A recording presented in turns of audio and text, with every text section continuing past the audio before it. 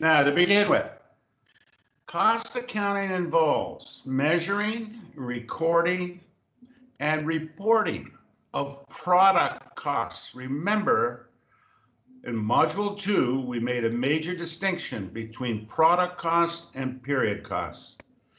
Here, we're only talking about product costs. Product costs are three categories, direct material, direct labor, and manufacturing overhead.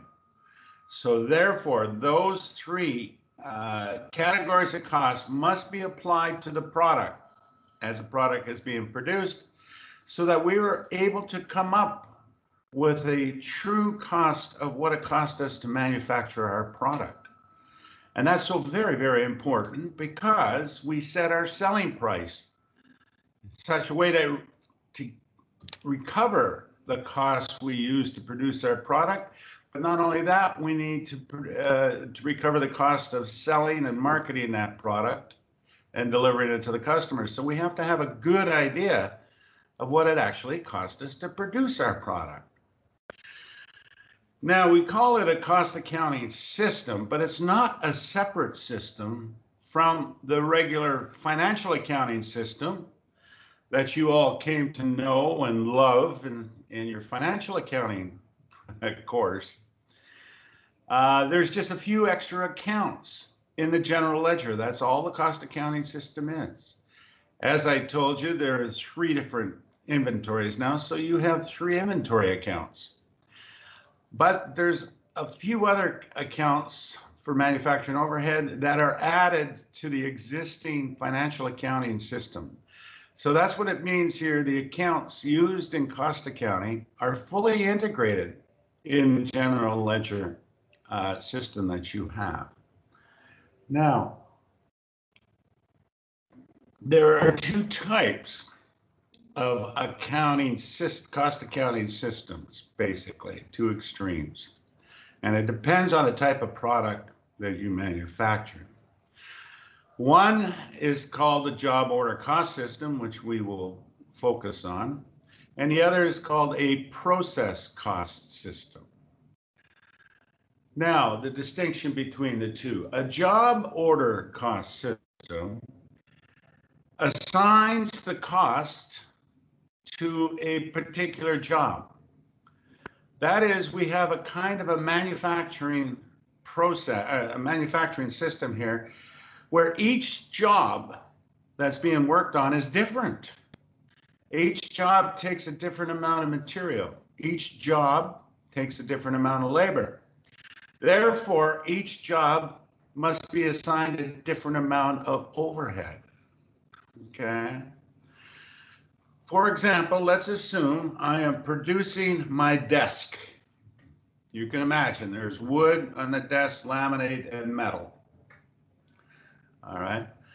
Now, I might have an order for one desk, a certain size, a certain style. Well, that's one job. Then the next order might be for a hundred desks for Abu Dhabi University, and each desk being this size and that size. That's another job. So you see, each job now has different characteristics. All right. And our objective is to compute the cost per job so that we know when the job is finished just exactly how much direct material, how much direct labor, and how much overhead was consumed in the production of that job. That's a job order cost system. Oh, I'll keep hitting the wrong button. Okay. For example, let's assume I'm a print shop and one job, job 9501, I give each job a different number, is a job to print wedding invitations. And that job requires printing of 225 envelopes, particular kind of stock material, uh, different kind of typesetting, different kind of ink. So you see, we want to accumulate the cost to producing that product. The next job, or the job that's also being worked on at the same time in this plant or factory is a job to print menus for a number, for a restaurant. Now, can you hear me all right? Because I'm getting notices that says bad quality. Can everybody hear me okay? Sometimes it breaks, but Sometimes, yeah. yes. Yes. Yeah, I think the connection, doctor. Doctor, I have All one right. suggestion. keep trying my best. And when I see that little sign, I'll repeat myself. Uh, so this one is about printing menus for a restaurant. Now, of course, different size, different material, different printing. All right, so that's a job order costing system. Contrast that with a process cost system. A process custom system a manufacturing system that produces a large volume of similar products. And, uh, for example, cereal. Each box of cereal would have the same amount of material, same amount of labor. Same with petroleum produced or product or production of ice cream. The end finished product is exactly the same. That is, it has exactly the same amount of material. Now, the example I use here in Elaine is that we have a Coca-Cola plant. Now, if you can imagine the production of Coca-Cola, you're all familiar with Coca-Cola. And the end, the output of the production uh, process is a can of Coke. Now, each can of Coke is exactly the same. It has exactly the same amount of material, labor, and overhead went into it. So how do we cost a can of Coke? Well, we really don't do it on an individual basis like we did in job costing. What we do is we accumulate the cost for a time period, a week or a month. So during the week, we accumulate all the material costs that went into the process. There's that sign again, bad quality. I don't know why. Okay, okay, we accumulate all the direct material for a week that went into the production of Coca-Cola, all the labor that was spent, all right, and the overhead, the heating costs, the electricity costs for a week. And we divide that by the amount of cans of Coke produced during that week. So you see, we trace the costs to the process and divide the those costs by the output of that process for a particular period of time. Now, this is also done by departments or different processes, but in job costing, the costs are attached to the job. In process costing, the costs are attached and then the total costs are divided by the output of the Can't hear you. process. Doctor, hear can you repeat the last So sentence? the process costing system, um, what to do, what to do, I'm screaming at a scream here. Let's see what's going on with my internet. Ah. Okay, wait. Um, Victor, I have one suggestion.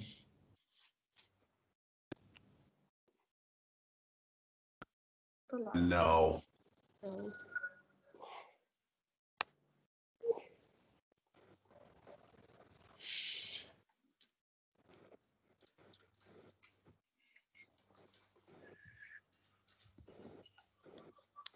علق عند ابراهيم ترى ما يسمعك I, I, I, uh, I switched to another Okay.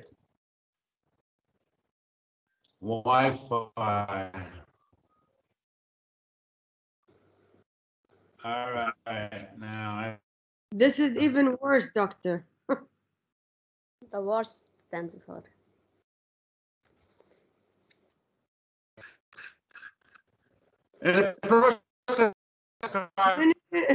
doctor, this is to a, and We cannot- dividing. at all. Doctor, You can't hear me? No. We we hear you like uh oh, e- like this. Oh, no. Doctor, I can hear you. I can hear you fine. Oh, technology? Okay, process costing system, we attach the cost to the process.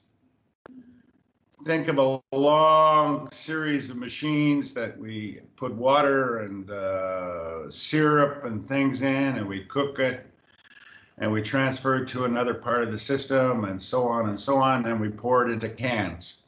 That is the whole process and we track all the material that was used and all the labor that was used and the overhead that was consumed, and we divide it through by the number of cans of Coca-Cola that we produce. That's a process costing system.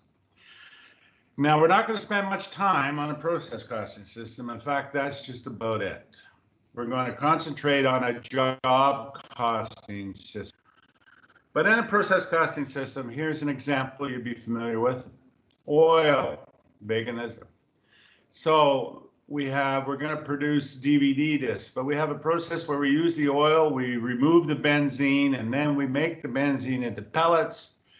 And then we uh, flatten those pellets out and make them into DVD discs. That's the whole process. And therefore, we would cost all of that for a week and then divide it through by the number of DVD discs that we produced at the end. All right, now, in a job order cost system, we now have uh, the cost that parallels the physical flow of materials that are converted into a finished good. Now, keep in mind we have raw materials, they're in storage. Now, raw materials were purchased, so we know exactly how much those raw materials cost us we take the raw material and we put it through a manufacturing process. All right. Hello? Yes. Yes, we can hear you, doctor. We're You here. can we're hear me. Can you see the screen, the PowerPoint? No, La- we can. No. No. Yeah? No. No. Yes. Now, yes, doctor. Okay. All right, so we take the raw material out of storage and we put it into process. That is, we start working on it. We start cutting it, we start drilling it, we start gluing it. We start doing all kinds of things to that raw material. We're using labor to convert it, and we're using all kinds of other indirect costs like electricity, for example, and lighting and, and so on. And we convert that raw material into a finished goods. Now, all those costs are cost incurred to produce my finished inventory. So you see, they're inventoriable costs, as we talked about back in module two. They were product costs, all right? Now, it, these costs do not become a period cost until we sell them. And then they come out as the cost of goods sold.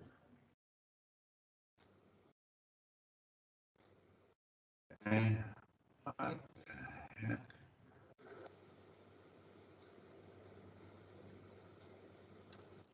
So if you want to think of it in terms of my accounting system, my T accounts,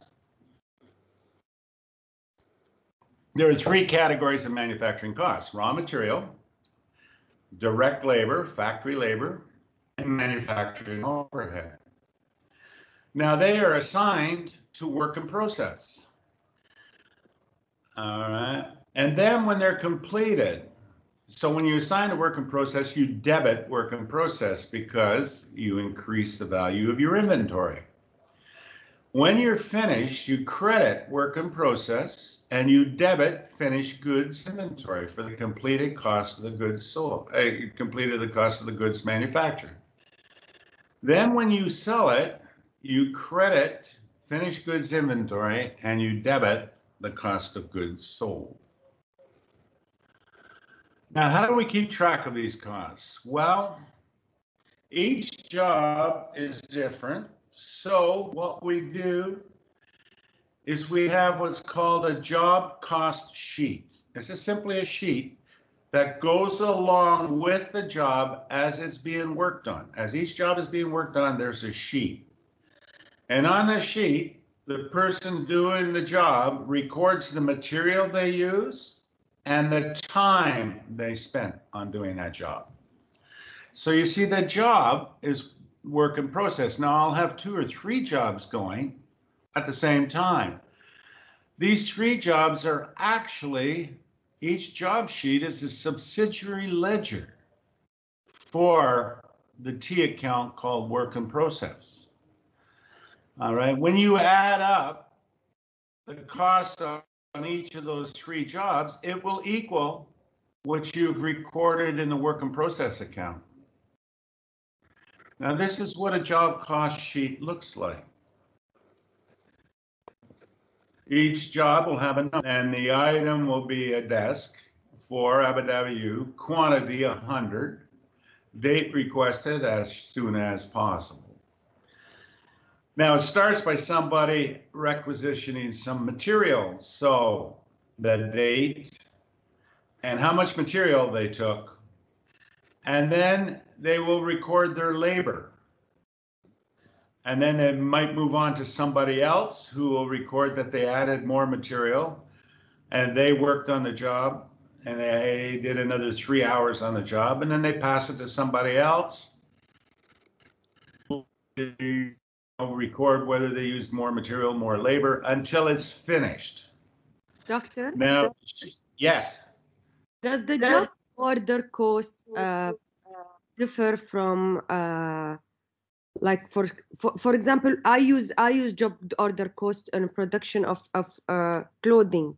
We choose one we do for one piece, but does it differ from quantity or it depend on the factory? Like for example, some factory they will do the job description, the job order cost one by one. Other will do quantities like hundred, or it's the same thing, just different Yeah. process.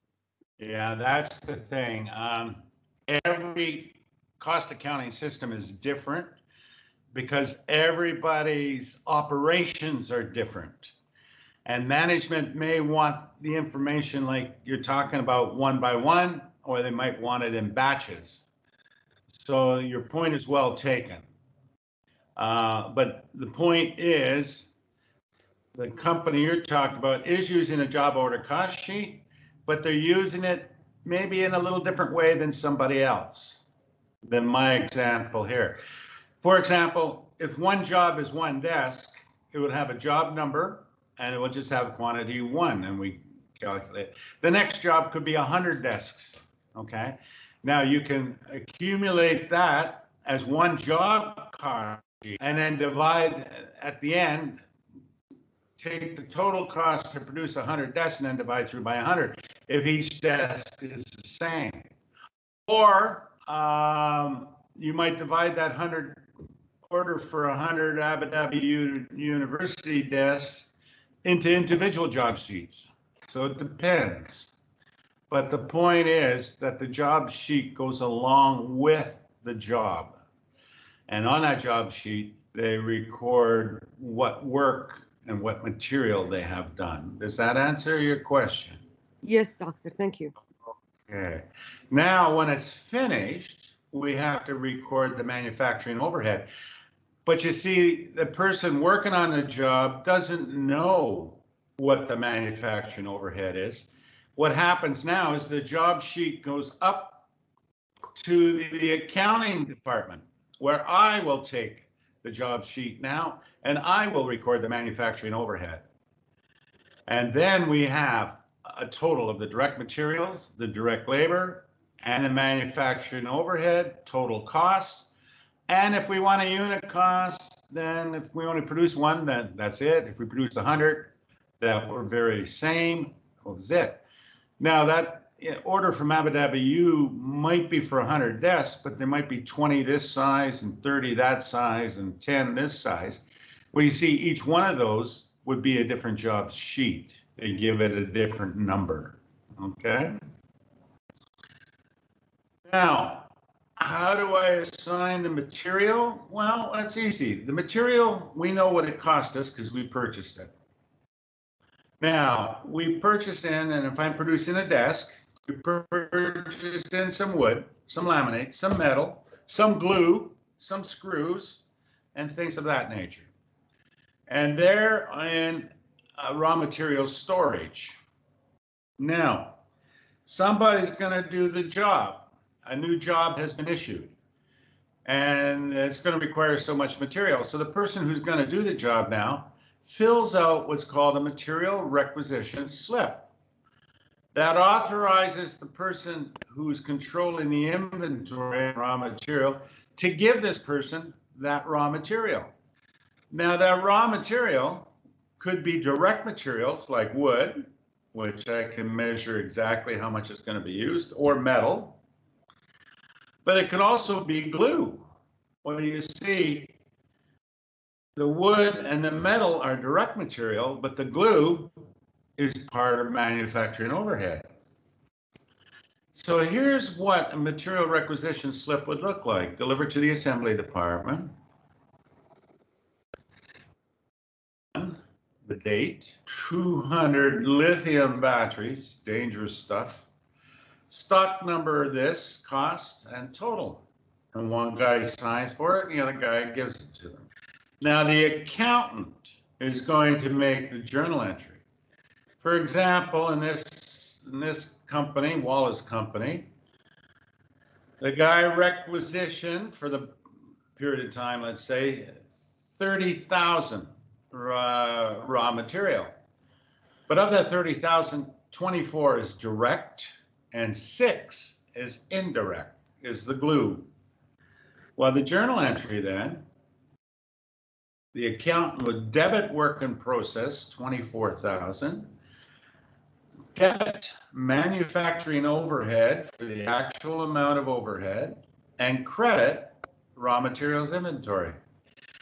So you see, when they post it to the general ledger, they post a credit of 30,000 to the raw material inventory, a debit for the direct material of 24,000 to work in process inventory, and a debit of 6,000 to manufacturing overhead. And already in manufacturing overhead, we already have 13,600. So the manufacturing overhead account is keeping track of the actual overhead incurred. Now, on the shop floor, how did I get that 24,000? Well, during this time period, for job 101, there was 12,000 in material that was requisitioned. For job 102, there was 7,000. And for job 103, which is a smaller job, there was 5,000. So there's 12, 19, 24. There's your 24,000. But you see, in their general ledger, I only have a debit of 24,000. But on the shop floor, I have three cost sheets, one that has 12,000, one that has seven, and one that has five. So you see these cost sheets are keeping track, are, rec- are reconciled with the work in process at all time. That's why this is called a subsidiary ledger. The job cost sheet is a subsidiary ledger. In my general ledger, I have a T account for work in process. Okay.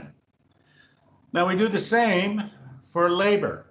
We keep track of labor by using time tickets. Now, you know, there's a lot of companies here in the UAE in which everybody, and people have to clock in and clock out. Well, on the factory floor, we have time tickets as well. And the person keeps track of their time, hours worked. Uh, the employee, the time ticket would have the employee, the hours worked, and the jobs they worked on, and the total costs. And a time ticket would look like this the guy's name, he worked on 101, he started, he finished four hours, we know how much we pay him. So, uh, continuing with our example, the time tickets are later sent to the payroll department and the employee's hourly wages are paid. All right. there were 30, of that 30, 28 was for my factory labor, my direct labor, and 4,000 was, was other labor, like supervisory labor or janitorial labor. That is, 28 is direct and four is indirect.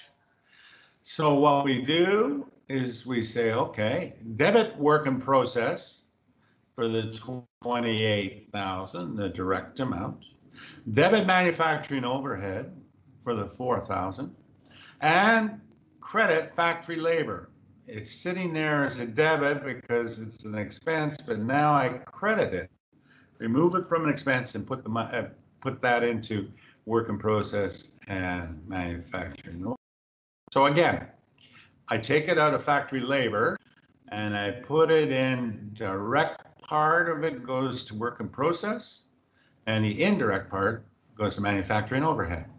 So you see the manufacturing overhead, I continue to accumulate the actual uh, manufacturing overhead incurred. And on the shop floor, the guy has recorded his uh, time.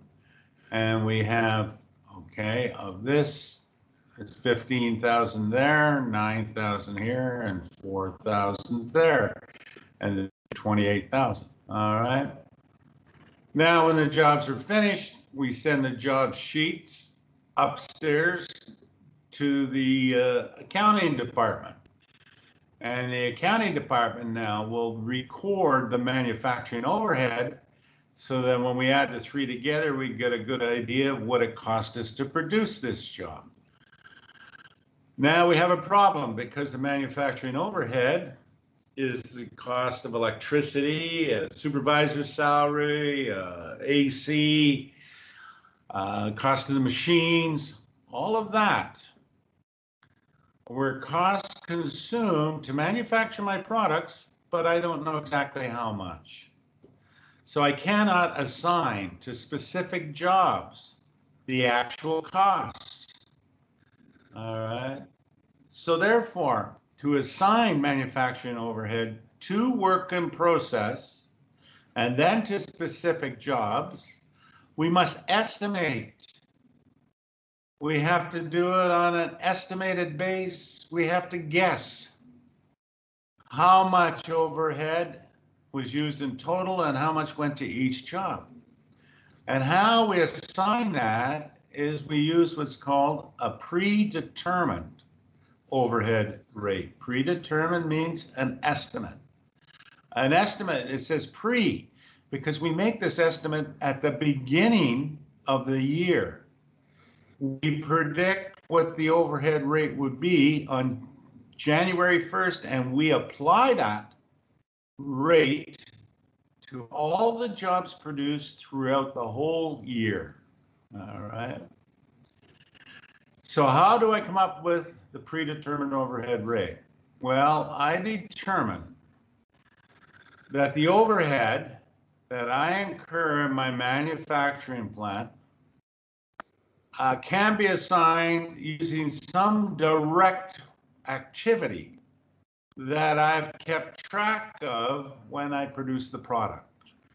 So let me, what they say here is the relationship between estimated annual overhead costs and expected annual operating activity. Um, now, the uh, three types of operating activity, you see, on my job sheet, I'm keeping track on each job how much direct labor costs. It's recorded on the job sheet. Also on the job sheet, I'm keeping track of labor hours. And if I want on my job sheet, I can keep track of the machining hours, how many hours of machining time. So I'm going to use one of these three ways to assign the costs. Now, I just don't guess at this. Management spends time and they look at their production process. Now, let's take direct labor hours. Let's assume I'm producing my desk And the labor that I use is basically the same. These guys, uh, they know how to cut, they know how to drill, they know how to do stuff like that. They're just basically paid, you know, uh, 20, uh, 20 dirhams an hour. So my production that is a large part of the production cost is labor. So I will use per hour as my annual operating activity. So to back up, at the beginning of the year, management will sit down, the accountants, and they will say, okay, we know how much overhead we spent last year. We got the bills for the AC, we got the bills for the electricity, we have an idea, and we think that this coming year, it's going to be a million dirhams will be our overhead, total overhead for the whole year. And we talk to the production people and we say, okay, we think we should assign that million dirhams to each job based on how many labor hours have been recorded in producing that. So the production guy will sit down and say, okay, I think we're going to produce uh, 20,000 desks this year.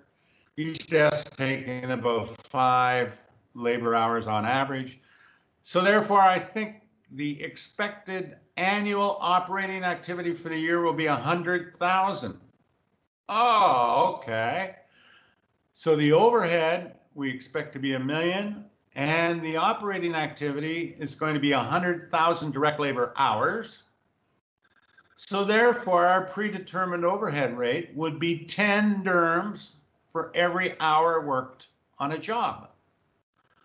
1 million divided by 100,000 hours. Everybody understand that? So now this job sheet comes in and it has 10 hours worked on it. So then the accountant will assign 100 dirhams. 10 hours times 10 dirhams an hour, 100 dirhams to that job. The next one comes in and has five hours. Well, it's going to be five times 10 or 50 dirhams to that job. So you see, the overhead will be assigned to the job based on the number of direct labor hours. Now, we might have a kind of product where you have two different types of labor. You have a general labor that you normally pay 10 dirhams for, and you have a more edu- or more uh, educated, more uh, let's say engineering type labor, where it's 20 dirhams an hour. Still a labor kind of production, but there's two types of labor that is used. So what we will do is we still have the estimated annual overhead as a million. We'll say, okay, the annual operating activity, we will add up the different kinds of labor and come up with labor costs. And so here we'll get a percentage. So we look at all the labor costs and the labor cost comes up to 200,000 for the year is what the labor is going to cost me. So then it's going to be, I'm going to assign that overhead based on um, 500% of whatever the labor costs are. Okay. Now, that's for a kind of manufacturing process that is called labor intensive. That is, a lot of labor is used to produce the final product. There are manufacturing processes which are called capital intensive. And a capital intensive pro, uh, process is there's a lot of equipment being used. Lasers cut, instead of a guy uh, using a saw to cut this wood, this wood is cut by a laser. And lasers and uh, robots glue the thing and so on. So now each job being worked on is a different size, so it probably will consume a different amount of machine hours. So again, we estimate the annual overhead at a million. And now the production guy will say, okay, look, I think we're going to use uh, 250,000 Uh, machine hours during the year. And they say, oh, okay, good. For every machine hour worked on, we're going to assign four dirhams per hour. How do I get the four? 1 million divided by 250,000 machine hours. Okay. In either case, now a company will use either one of these three. Management will decide, not all three. And they'll use it throughout the whole year. Okay. Estimated at the beginning of the year. It's for the whole company, but however, different departments can have different rates. But the formula is basically what we're talking about. As I said, estimated annual overhead costs divided by estimated annual operating activity gives me my predetermined overhead rate. So this is an estimate. This is an estimate. So this number here is the co- combination of two estimates. Nevertheless, I'm going to apply let's say it's five, apply that for the actual direct labor hours worked on each job. I have the actual because it's on my job cost sheet. And I simply assign that to each job. Job one, job two, job three. But notice, I'm using the actual amount of hours or the actual amount of direct labor costs times an estimate. And that is the only way I can assign these indirect costs to the job. Okay, to give you an illustration, Wallace uses direct labor costs. And every problem you're going to get, they have to tell you what the base is, direct labor costs. And they have to tell you what they expect the overhead to be and what the direct labor costs will be. So they said compute the overhead. Well, the overhead is 280, direct labor costs 350, so therefore it's 80%. It's expressed as a percent, which basically means if we're talking dollars, as we are here, that every dollar of direct labor worked on a job, the accountant will assign assign 80 cents allocate. Now this 280,000 is the overhead for a whole year. And there are going to be all kinds of jobs worked on during the whole year. So we have to sort of divide this 280,000 up in such a way that each job gets its fair share of overhead. Okay, now keep in mind each job is a different size. So the larger the job, the more the overhead. Well, the larger the job, they would use more direct labor costs. And so therefore they would pick up more overhead. That's the idea. And how do I assign this now? So I keep track and I determine that 28,000 direct labor costs were consumed this month. So the overhead 28,000 direct labor costs were consumed, the overhead would be 22,400.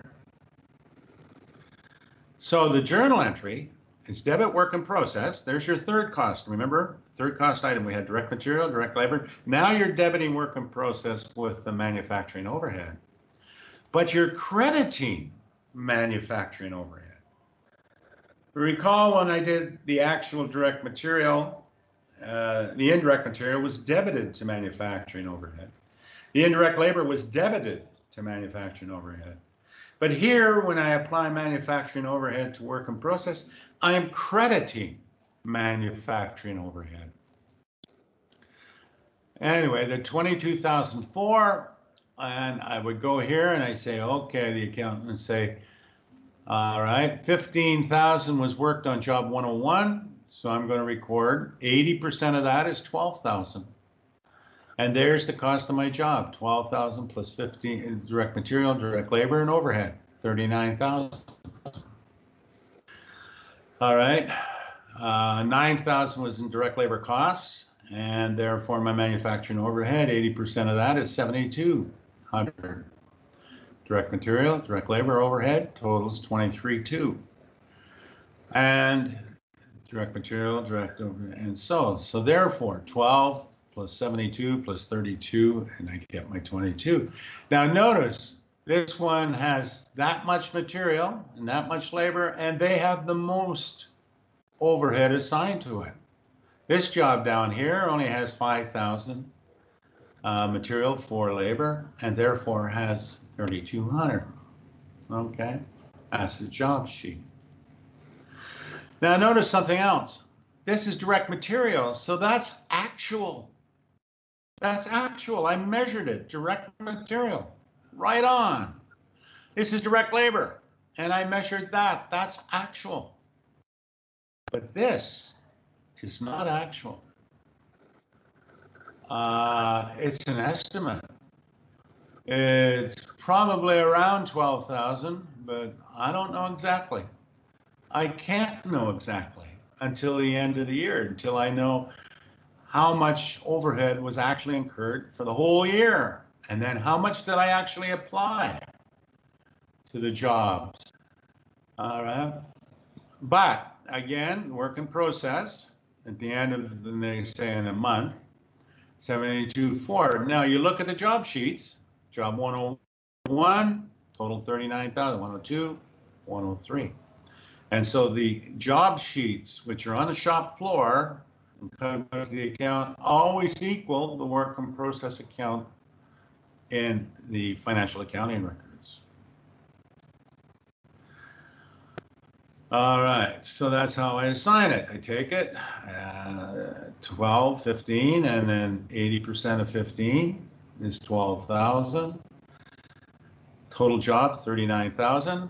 There were a thousand units in this job. Therefore, this job is $39 per unit. And there is the flow again, an overview of the flow. Raw materials, direct materials go here, indirect go down, manufacturing overhead. Labor, direct goes here, indirect goes down here. And overhead, uh, 22,000, manuf- uh, 20, that, uh, I'm sorry, that was the uh, labor. And these, you see, now I want to talk about this manufacturing overhead.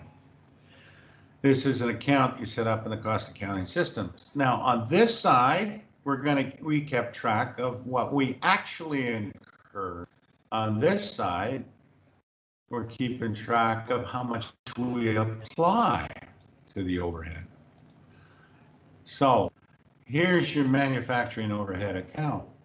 On the debit side is the actual for the whole year. On the credit side is the amount applied to all the jobs for the whole year. At the end of the year, we add up the debits and we add up the credits. They're not going to be equal. It'd be uh, highly unlikely that I guessed exactly what the overhead would be and I applied it exactly to all the jobs. It's not likely. I either incurred more than I applied to the jobs, or I applied more to the jobs than I actually incurred. So if I incurred more than I applied, I have a debit balance. And because I incurred more than I applied, I under applied the overhead. I did not apply enough overhead to my jobs. If I applied more, if I, than I incurred, then I over applied my manufacturing overhead. Okay. Doctor. Can you repeat this part, please? Yes, Can you- do that again. Yes, please. Yes, please. All right. I, I keep track in this account, manufacturing overhead, of the actual manufacturing overhead. Actual. Let me go back. These are actual. I actually incurred that amount, this amount, and this amount. So when I add that up and I transferred 22.4 to the jobs, I apply. This side is the apply. So you see, I have a debit balance here, which means I incurred more manufacturing overhead than I applied for this particular month. So what they're saying then is if I have a debit balance, I incurred more than I applied, so I have not applied enough. So all the jobs I produced during the year, the amount I assigned to cover the overhead was low because the overhead was more than I thought it was going to be. If, on the other hand, I have a credit balance, that means I applied more than I actually incurred, then all the jobs I worked on during the year, I was applying overhead. I was applying so much to cover the overhead, and I applied too much. That is, I applied more than I actually incurred. I do not know this until the end of the year. Uh, what I'm saying here, this is the end of a month. All right, but this goes on for the whole year. And it's not to the end of the year, really, that, you know, uh, next month I might apply more than I incurred. It's not to the end, end of the year that how much how much I incurred. So you see, my cost of goods sold, all the products I sold during the year, I had cost them with the actual material, the actual, and an estimate for the overhead. Now, at the end of the year, I find out that that estimate was too low. All right, I should have applied more. So therefore, if the estimate was too low, my cost of goods sold is low than it is actually. So I debit it. If I overhead, or if on the other hand, I applied too much to all the jobs I worked on during the year, then my cost of goods sold is too high, higher than, so I credit it by the difference of the under applied or over applied. Because I have to have my at actual amount. So if I have a 25,000 credit balance, that means I applied than I should have. So to close out the manufacturing account by debiting it and I increase or reduce the cost of goods sold.